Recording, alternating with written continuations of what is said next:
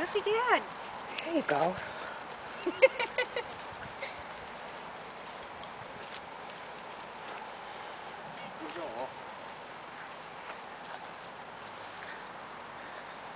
So this is his second time in this cart.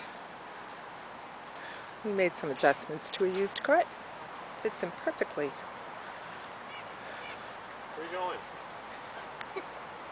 Hey, the road's up there.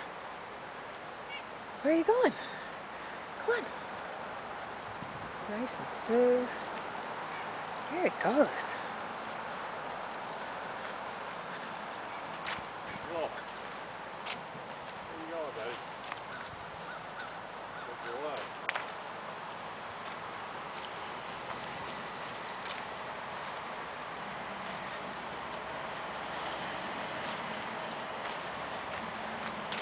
He'll be able to keep up with the rest of them now. If you hook them up to the... When you run with them, do you attach them all to each other? Yes. So you think you can attach him to the rest of the pack in the cart? You think you'll be able to attach him to the rest of the pack when you guys train? Uh, And he his won't be able wheels? to keep up with the, those dogs. But I have like an old, old, old sled dog